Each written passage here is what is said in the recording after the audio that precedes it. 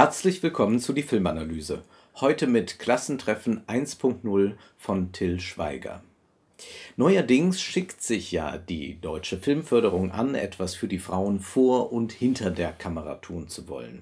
Sieht man sich aber jetzt die üppig geförderte Stümperei von Till Schweiger an, dann kommt es einem vor, als wollte die Filmförderung hier sich ein paar Feigenblätter dann oder anlegen oder ein paar Bußübungen ausüben, denn so einen Film darf man dann eigentlich nicht fördern. Denn Klassentreffen 1.0 ist ein zutiefst frauenfeindlicher Film. Solange die deutsche Filmförderung eine solche Produktion unterstützt, ist sie vollkommen unglaubwürdig. Ich kann mich nicht erinnern, überhaupt einen Film mit solchen frauenfeindlichen Dialogen jemals gesehen zu haben. Und ich kann mich nicht erinnern, dass ich einen Film je gesehen habe, in dem Frauen so misogyn gezeichnet werden wie in diesem Film. Frauen sind hier entweder Schlampen, Furien, naive Dummchen oder naive Hausfrauen.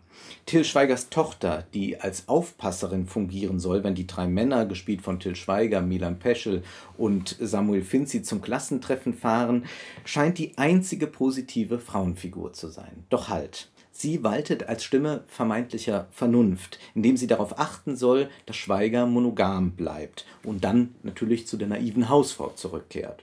Doch die Tochter ist schließlich nur die Stütze dieses patriarchalen Systems. Sie schränkt die Libido ein, damit äh, die Familie als einzig statthafte, moralisch vertretbare Lebensform erscheinen kann. Finanziert wird diese Lebensform dann selbstverständlich von dem Ernährer. Einmal mehr spielt äh, Schweiger den sexuell wie finanziell Potenten, der jederzeit, wenn es ein Problem zu lösen gilt, entweder die, die Börse öffnet oder seinen Hosenschlitz öffnet.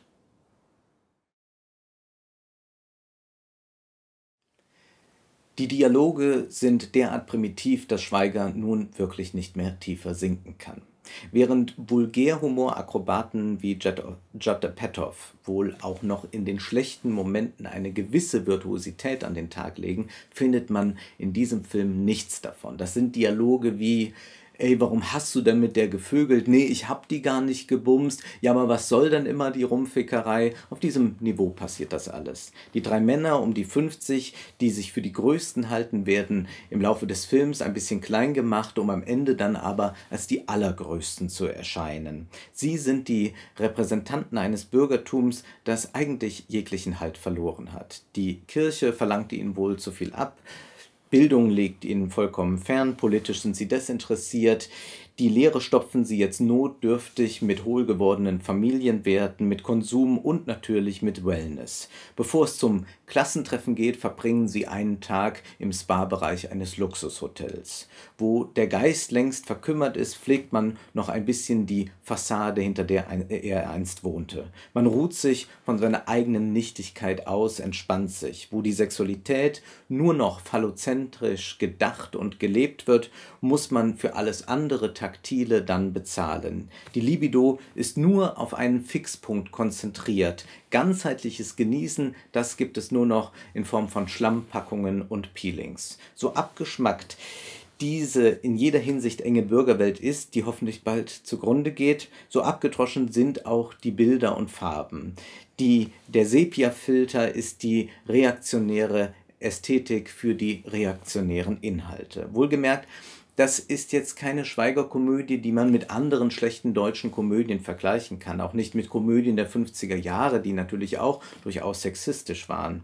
Nein, Klassentreffen ist unfreiwillig wirklich ein Film über ein verwahrlostes Bürgertum für ein verwahrlostes Bürgertum, das sich in einer gefährlichen Mischung aus Dummheit und Stolz festklammert an einer prüden Familienideologie und an einem alles Fremde, Neue und Intellektuelle ablehnenden Selbstverständnis, das einem sehr, sehr aggressiv eingehämmert wird.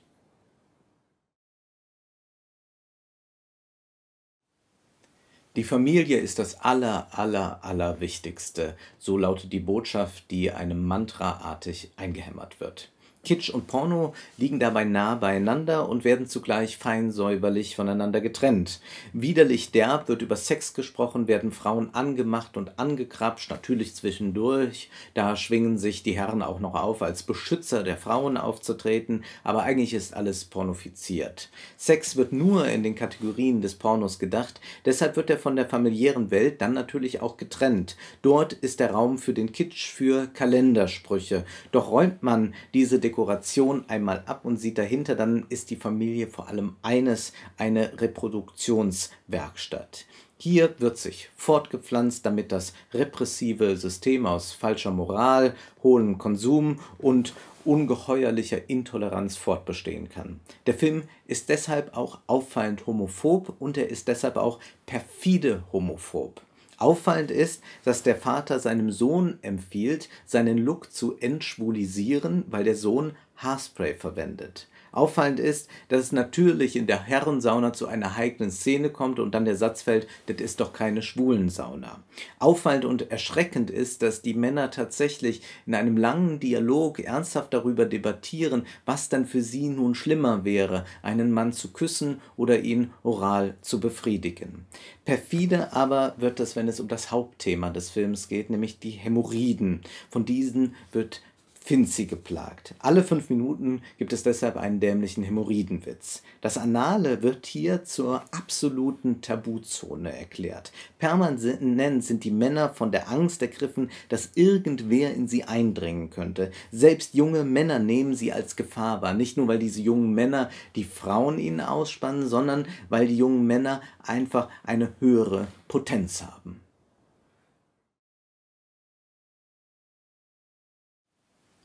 Besonders perfide wird es dann in einer Szene beim Arzt, in der sich Finzi seine Hämorrhoiden abtasten lässt. Als der Arzt bei der Behandlung mit dem behandschuhten Finger in ihn anal eindringt, macht der Arzt dann ein besonders lüsternes Gesicht. Der Analverkehr wird hier metaphorisch als ekelhaft und pervers in Szene gesetzt. Die weiteren Dialoge des Films schreiben diesen Diskurs dann fort. Der schwule Sex wird zum einen der Lächerlichkeit preisgegeben, zum anderen aber auch in die Nähe einer Krankheit gerückt. Aber warum das alles? Ist das die übliche Homophobie, die man immer mal wieder in Komödien antrifft, die in gewisser Weise auch äh, als harmlos zu betrachten wäre, wenn es eben nur das ein oder andere Witzchen ist aufgrund äh, auf Kosten einer Minderheit oder so, was natürlich auch zu einer äh, Komödie gehören darf. Die muss ja nicht immer den politisch korrekten äh, Anforderungen entsprechen. Nein, das Ganze folgt hier schon einem höheren Zweck,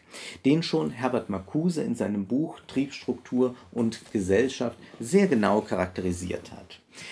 Marcuse sagt mit Freud, dass der Sexualtrieb eigentlich polymorph pervers ist. Das heißt, er ist offen für vieles und erstmal nicht eingeschränkt. Aber die bürgerliche Gesellschaft deklariert alles mit dem Tabu Perversion, was nicht der Fortpflanzung dient. Marcuse schreibt dann auch, Freud betont den exklusiven Charakter der Abweichung von der Norm, ihre Ablehnung des auf die Fortpflanzung gerichteten Sexualaktes. Die Perversionen drücken somit eine Auflehnung gegen die Unterwerfung der Sexualität unter den Befehl der Fortpflanzung aus und gegen die Institutionen, die diesen Befehl garantieren.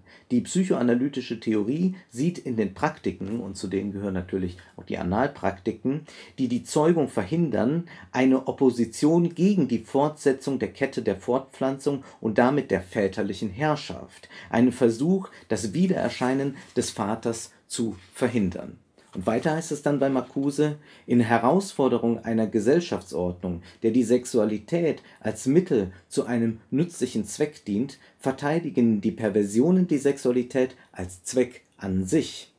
Sie stellen sich damit außerhalb der, des Herrschaftsgebietes des Leistungsprinzips und bedrohen es in seinen Grundfesten. Sie stiften libidinöse Beziehungen, die die Gesellschaft verdammen muss, da sie eben den Zivilisationsprozess bedrohen, der den Organismus zu einem Arbeitsinstrument umgebildet hat. Sie sind das Symbol dessen, was unterdrückt werden musste, damit die Verdrängung siegen und die immer wirksamere Beherrschung von Mensch und Natur durchsetzen konnte. Ein Symbol der zerstörerischen Identität, von Freiheit und Glück. Und Freiheit und Glück werden hier tatsächlich in diesem Film nicht mehr zusammengedacht. Und alles, was der Fortpflanzung nicht dient, muss deshalb ausgeschlossen werden. Die Homophobie des Films ist nicht bloß Beiwerk, vielmehr bildet sie den reaktionären Kern des Films. Alles, was der plumpen äh, Reproduktionsideologie im familiären wie wirtschaftlichen Sinne zu, zuwiderläuft, das muss weg diese Homophobie trifft sich dann auch mit der Frauenfeindlichkeit des Films. Alle Frauen, die nicht nur für die Reproduktion zur Verfügung stehen wollen, werden als Schlampen oder als Furien disqualifiziert. So darf auch die 50-jährige Frau, die ihren Mann verlässt, um äh, mit einem Jüngeren durchzubrennen, das natürlich nicht genießen, denn auch das ist ja eine Form der Sexualität, die nicht mehr auf Reproduktion ausgelegt ist. Alles, was nicht der Fortpflanzung und damit dem Fortbestand dieser verwahrlosten Bürgerwelt dient,